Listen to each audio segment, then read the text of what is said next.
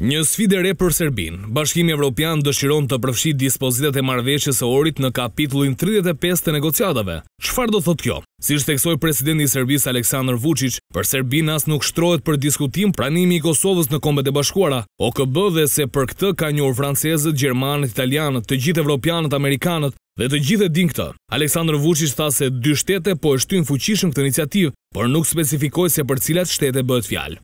Dyert e mbyllura të Bashkimit Evropian, Disa diplomatë perëndimorë theksojnë se Serbia po ia mbyll vetes derën e anëtarësimit në Bashkimin Evropian, duke kundërshtuar që Marrëveshja e Ohrit të jetë pjesë e Kapitullit tridhjetë e pesë, e për këtë çështje është deklaruar dhe kryeministri hungarez Viktor Orban. Orban tha se nëse Marrëveshja e Ohrit përfshihet në kornizën e negociatave pavarësisht kundërshtimit të Serbisë, Beogradi gjithmonë mund të mbështetet tek Budapesti. Në këto deklarata u vu re po ashtu se për këtë çështje mbizotëron përshtypja e urgjencës, sepse nuk ka përparim në negociatat ndërmjet Beogradit dhe Prishtinës. Kjo urgjencë shpjegohet me nevojën për zgjidhjen e disa gjërave para zgjedhjeve të ardhshme për Parlamentin Evropian në qershor dy mijë e njëzet e katër, normalizimi i marrëdhënieve e barabartë me njohjen e Kosovës. Problemi kryesor kur është fjala për këtë temë është se Aleksandër Vuçiç sillet sikur të mos e kishte nënshkruar marrëveshjen e Ohrit, thotë për Deutsche Wellen, Naim Leo Beshiri, drejtor i Institutit për Çështje Evropiane.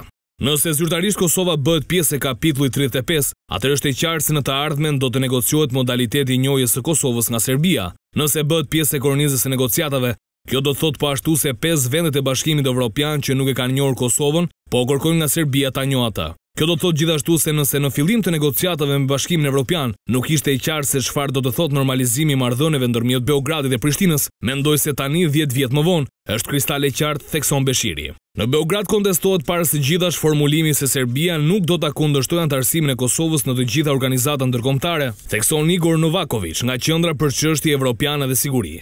Mendoj se Presidenti Vuçiç posaçërisht theksoi se bëhet fjalë për hyrjen e mundshme të Kosovës në OKB, pra në institucione si UNESCO, për shkak të çështjes së trashëgimisë kulturore dhe fetare në Kosovë.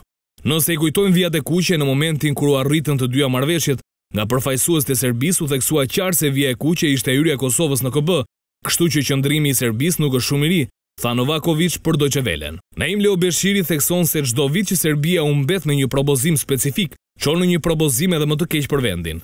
Çdo propozim i ri që ka ardhur në tryezë ka qenë më i keq për Serbinë, thotë Beshiri dhe shton se deklaratat e presidentit të Serbisë se si futja e marrëveshjes së Ohrit në procesin e negociatave do të thotë se BE-ja nuk dëshiron Që ne të vazhdojmë këto negociata është deklaratë bombastike dhe antievropiane.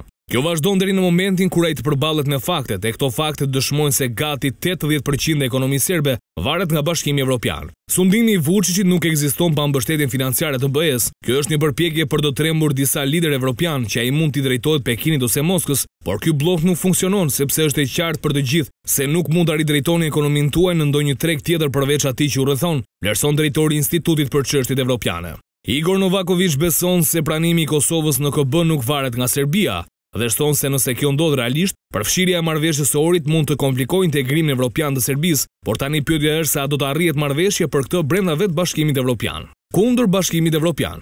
Duhet të theksojmë gjithashtu se integrimi evropian i Serbisë nuk ekziston, thekson Naim Leo Beshiri dhe shton se kështu ka qenë në pesë vitet e fundit dhe se nuk ka ndryshim të dukshëm në reformat e Serbisë në rrugën drejt BE-së. Në njëmbëdhjetë vitet e fundit Aleksandër Vuçiç ka treguar se nuk dëshiron të bëjë luftën kundër korrupsionit dhe krimit të organizuar dhe të sigurojë pavarësinë e gjyqësorit, sepse kjo do të nënkuptonte prerjen e degës në të cilën janë ulur ai dhe bashkëpunëtorët e tij më të afërt. Megjithatë, mbështetja për BE në Serbi është ende rreth pesëdhjetë për qind, pavarësisht fushatës së pamatur të elitës në pushtet kundër BE-së, Perëndimit dhe kundër reformave sociale në Serbi, përfundon drejtori i Institutit për Çështjet Evropiane.